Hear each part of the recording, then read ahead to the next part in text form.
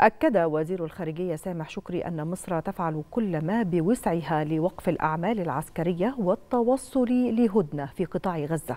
وخلال إحاطة أدلى بها فور وصوله لمقر المجلس الأوروبي حذر شكري من مخطط تصفية القضية الفلسطينية من خلال جعل الحياة في غزة غير قابلة للاستمرار.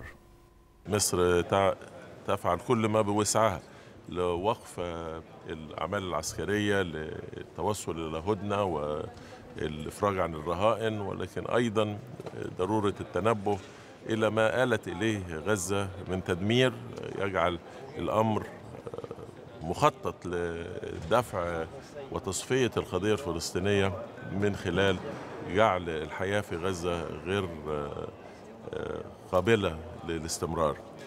سوف نستمر في الجهود لوقف هذه الاعتداءات. أيضا الوضع في الضفة الغربية لابد أن يتم التعامل مع عنف المستوطنين.